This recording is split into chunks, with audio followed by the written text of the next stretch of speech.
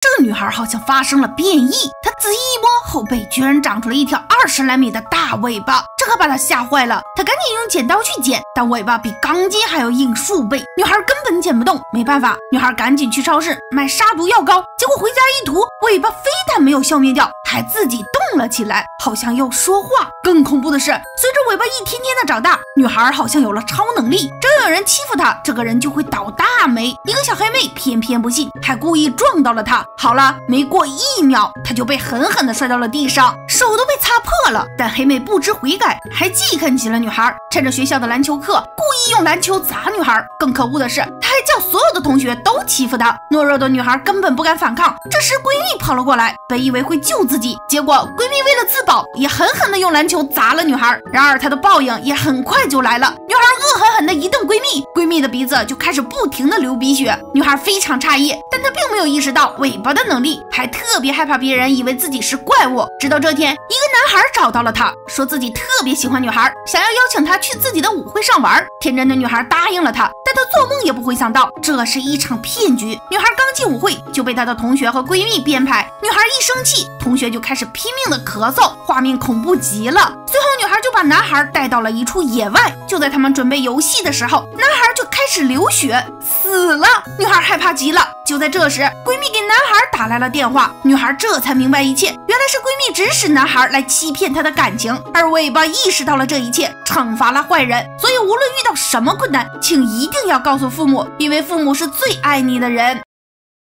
你绝对没见过这么可恶的蜜蜂！别人都在疯狂的采蜜工作，他却在家里偷吃成果，一把一口的嚼得嘎嘣脆。被组长发现后，他慌张的连敬礼都不会，左右手弄得满脸都是蜂蜜。更可气的是，他连蜂巢也不会做。但今天组长要求他必须学会铸造蜂巢，否则就惩罚他。于是他赶紧将蜂蜜拉扯成球，却被蜂蜜死死的粘住，怎么都摆脱不了。又好不容易丢了出去，还一把丢到了小组长的脸上，这下惨了。他赶紧去帮组长。把蜂蜜弄开，可就是越涂越乱。看着他蠢笨的样子，小组长赶紧叫他走开。于是抓了一把花粉，又拍了拍手，很快就把蜂蜜弄干净了。哦，原来可以这样啊！于是小蜜蜂也学着组长的样子，可蜂蜜是不粘在身上了，就是怎么都铸造不成形状。于是他又找来了木棍，架构了个形状，没想到还是不行。于是他怒了，他想将木棍上的蜂蜜泄愤的丢出去，可看着队员的辛苦劳动成果，他又不忍心破坏。万万没想到，经过自己翅膀的扇动，居然凝固了蜂蜜。很快他就做做好了一个模型，他高兴。地把他的成果告诉自己的组长，可组长却一点不高兴，因为他的偷懒工作已经剩下的太多。他叫小蜜蜂赶紧把后面的空洞填满，赶上大家的进度。可小蜜蜂却误以为组长要他把根本没人能填满的大门给填上。这下好了，小蜜蜂开始拼命的工作，直到累得瘫倒在地。意外的是，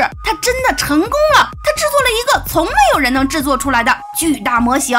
所以，请不要摆烂，你只管努力，剩下的交给天意，说不定惊喜就在下一秒。你见过比魔镜还厉害的镜子吗？一个八百斤的胖子钻进去后，就立马变成了八十斤的美女。这样的镜子你想要吗？就在刚刚，胖女孩想要买个让自己变性感的镜子，可挑选了很多个都不满意。直到她发现了这个魔镜，女孩满意极了，她做梦都想有这样的身材。于是她买回家里，每天偷偷的照镜子欣赏自己。可突然，他就被什么东西拉到了镜子里，结果钻出来一看，自己居然变成了八十斤的美女，那简直性感极了。于是他又把自己的衣服也扔进了镜子里，没想到全变成了自己想要的样子。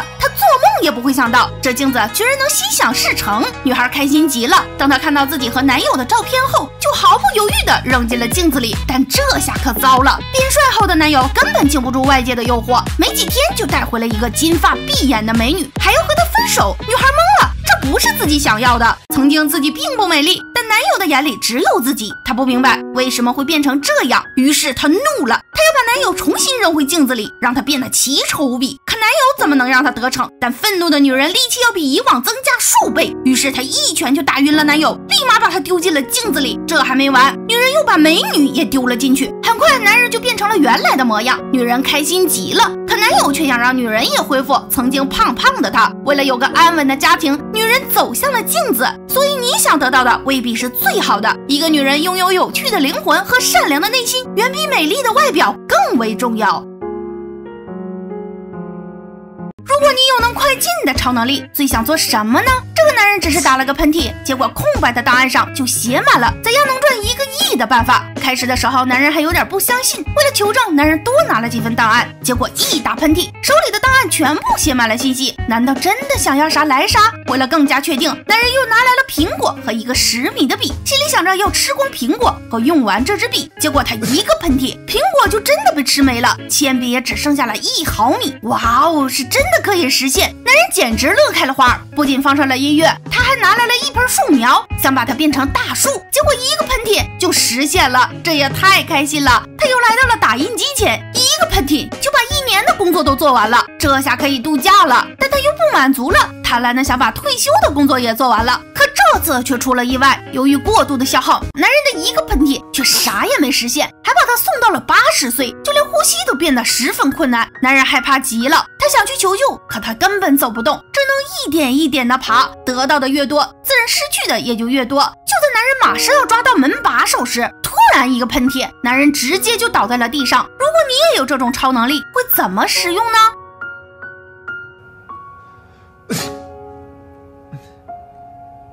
沙娃娃爱上了千里之外的雪娃娃，可他们中间却隔着一片几万米宽的大海。为了能相爱，沙娃娃做出了个大胆的决定，他要跨越大海。你觉得他能成功吗？